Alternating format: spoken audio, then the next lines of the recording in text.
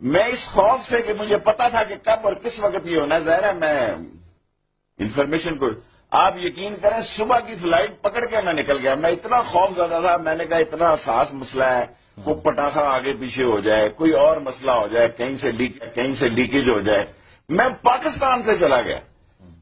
और जब मैं उतरा उस मुल्क में मैंने एम्बेसडर को कहा टीवी लगाओ। उसने कहा मसला क्या? मैं कहा मसला ना पूछ टीवी लगा। जब उसने टीवी लगाया काम हो गया सारा मैंने कहा फ़्लाइट अगली कब जाती है उसने कहा जी खाना मैंने कहा खाना खा भी जाऊँगा अगली फ़्लाइट में मैं पाकिस्तान आ गया ये एटॉमिक ब्लास्ट शेख रशीद ने कराया गौर अयूब ने कराया